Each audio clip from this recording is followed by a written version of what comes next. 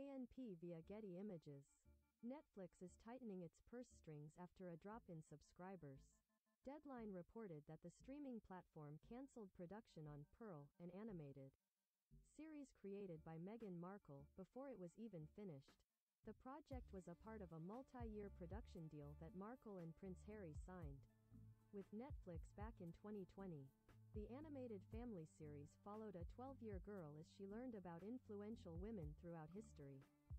The show is only the latest casualty in a recent series of cost-saving measures by the streamer, including firing most of the writing staff for its fan site project and canceling the show Space Force.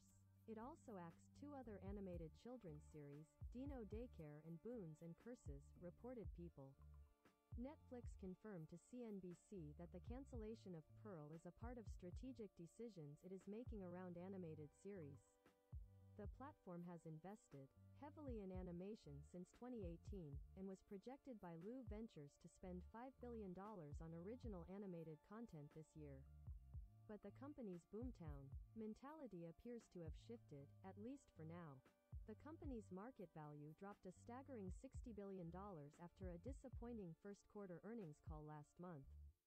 The streamer lost roughly 200,000 subscribers in the first few months of 2022, its first decline in nearly a decade.